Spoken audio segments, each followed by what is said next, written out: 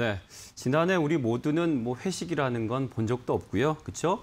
뭐 술집에서 술 한잔 하기 어려웠던 그런 코로나 상황이었습니다.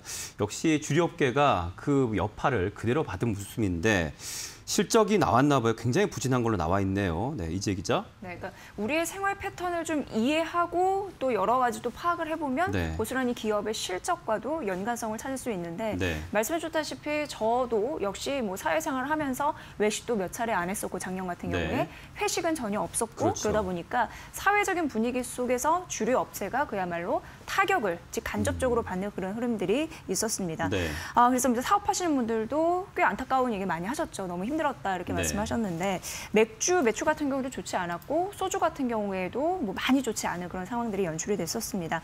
상장사 중에서 주류 업체를 좀 찾아보면요. 네. 롯데칠성 있잖아요. 네. 우리가 이제 떠오르는 건 뭐 칠성 사이다나 소주는 처음처럼 맥주 클라우드 있는데 네. 실적을 보면요. 지난해 매출이 2조 1,620억 원으로 전년 이게 작년보다거든요. 이 전년 대비해서 7% 줄었고 처음처럼 이제 얘기 나오다 보니까 좋은 데이 생각나잖아요. 네. 좋은 데이는 무학입니다. 네. 무학 상장사인데 지난해 매출이 1,360억 원으로 전년 대비해서 10%준 흐름들이 나왔습니다. 소주 업체 같은 경우는 대체적으로 영업이익이 좀 흑자 났어요. 근데 그렇다고 하더라도 큰 실적 개선은 아니었다라는 게 어, 시장의 평가입니다. 네. 아, 그리고 주류 업계에서 보시면 이제 위스키 업체들 제 박스 안에도 있는데 더 큰 타격을 입었습니다. 네. 그래서 보시다시피 뭐 골든블루나 어, 그리고 디아지오 코리오 좋아하시는지 모르겠지만 네. 매출과 영업이익이 또 급감하는 흐름들이 나타났습니다. 네. 사회적인 거리두기 강화되다 보니까 식당과 주점 영업 시간 같은 경우에 오후 9시부터 10시까지 이제 제한이 됐고 유흥 주점 같은 경우도 영업 이제 수시로 제한을 받았잖아요. 뭐 네. 금지가 되고 또 지난해 말부터 5인 이상 사적 모임이 금지되면서 회식도 불가능한 그런 상황이었습니다. 어, 다만 뭐 이제 여러 가지 이제 삶 살다 보면 이제 지치잖아요. 네. 좀 풀어보자. 또 기분 좀 내야지 하신 분들은 혼술 위주로 집콕을 하시면서 한 잔 드신 걸로 이게 좀 파악이 되고 있는 상황인데 네. 업계의 한 관계자의 말을 좀 들으면 알 수 있는 게 외식 시장에서 20에서 30% 소비가 줄었대요. 그런데 가정에서는 10% 이상 좀 늘었다. 이런 또 얘기를 듣기도 했습니다. 네. 제가 알기로 개인적으로 우리 이재 기자는 술 한 잔도 못 하시는 분으로 제가요? 네 알고 있는데 잘못 알고 계시네요. 잘못 알고 있었군요. 어, 예, 완전 오본데요. 아 네. 그렇군요. 아니 지금 네. 그 브랜드들을 딱딱 얘기하시는 게 아. 어, 너무 거침없어서 어, 네. 멋있, 네, 멋있네요. 나름 네. 외주갑니다. 예. 네, 그렇군요. 네. 하여튼 다시 그런 날이 올 수 있길 바라고 네. 일단은 이런 실적이 정말 다그 부진한 상황 속에서 그래도 잘한 업체가 있습니다. 네. 음, 그래요. 바로 이제 이게 오늘의 그 타이틀에 나온 그 기업, 바로 네. 하이트 진로입니다. 우선 실적부터 말씀드리면 우선 지난해 매출 같은 경우에 2조 500억 원 가까이 이제 벌어들였다라는 부분인데 네. 영업이익이 대단해요. 전년 동기 대비해서 125% 이상 음. 급증하는 흐름들이 나타났습니다. 바로 이게 태진아 때문인데 들어보셨죠? 네. 태진아.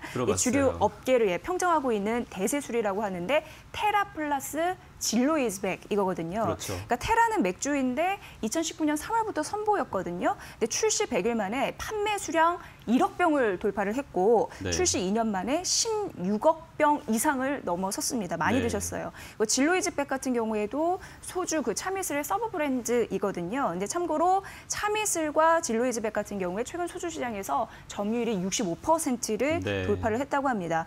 자 그리고 이제 지난해 하이트 진로가 22만 병 이상의 소주를 판매해서 전년 대비해서 10% 가깝게 실적 올린 흐름들이 눈에 띄었고 특히 하이트 진로가요 경쟁사 대비 이 눈에 띄는 실적을 올릴 수 있는 또 이유 중에 하나가 무알콜 맥주 시장 공략법 이게 좀 잘 맞아 떨어졌다고 합니다. 네. 이게 국내 무알콜 맥주 시장에서 하이트 진로에 하이트 제로예요. 무알콜이니까 이제 제로를 이제 네, 붙인 거죠 네. 센스 있게. 그래서 이게 점유율 65%를 차지했는데 굉장히 판매고가 높다고 음. 이렇게 좀 기록이 되고 있는 상황이네요. 네. 사실 이제 무알콜 맥주 얘기를 하면 제가 또 좀 한마디 끼어들어야 되는데 아? 제가 술을 잘 못하기 때문에 아, 오히려 또 그렇군요. 네, 그렇습니다. 네. 근데 이제 어, 화이, 하이트 진로가 국내 최초로 이 무알콜 맥주를 출시한 이력을 가지고 있는 그런 회사거든요. 음. 네. 그런 회사인데 지난달에 이 출시 8년 만에 어, 맛이랑 디자인, 그 음. 브랜드 컨셉을 모두 변경하는 그런 또 리뉴얼을 어, 단행을 했습니다. 네. 이런 전면, 전면 리뉴얼을 통해서 이 무알콜 맥주 시장에서 업계 최고의 점유율을 어, 유지한다는 그런 전략을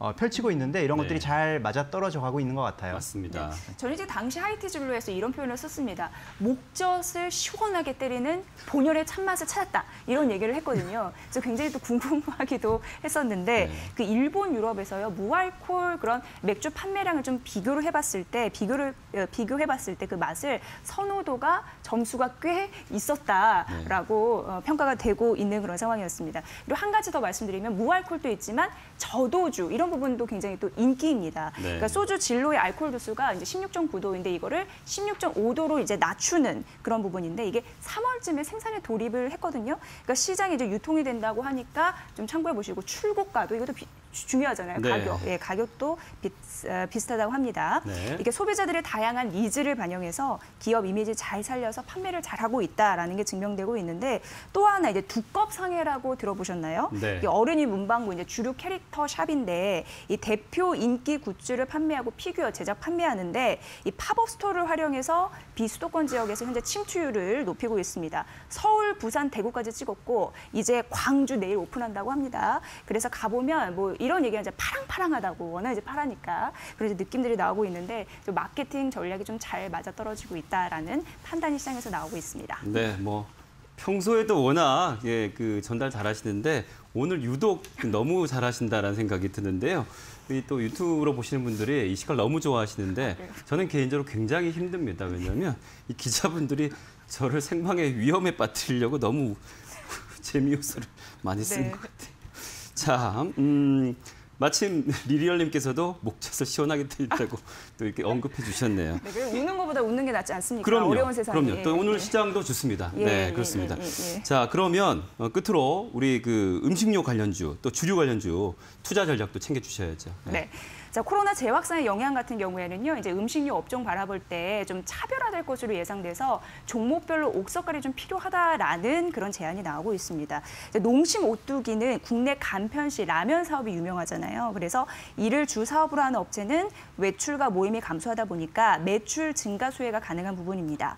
그런데 이제 그동안 곡물 가격 인상 부담이 이게 좀 있었거든요. 네. 단기간에 급등한 부분이 있으니까 잠시 쉬어갈 가능성은 있다라는 판단인데 다행히 이제 달러 원 환율이 좀 안정 이 돼서 수입 가격 부담을 완화하는 요소다라는 부분이 지금 생각되고 있고요.